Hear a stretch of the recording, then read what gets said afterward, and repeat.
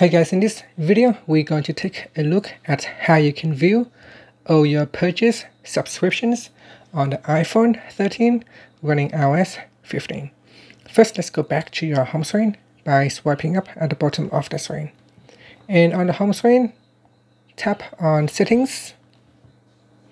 In Settings, go down and tap on App Store. Then swipe up to go all the way down and tap on personalize recommendations. Now in here, go down and tap on subscriptions. And if you have purchased any subscriptions in the past, it will show in here.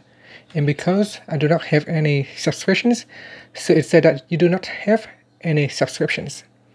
You can also um, find all your subscriptions in your Apple ID as well. So if we go back to settings, at the top here, tap on your Apple ID and then tap on subscriptions. And in here, you'll also be able to find it. And that's it.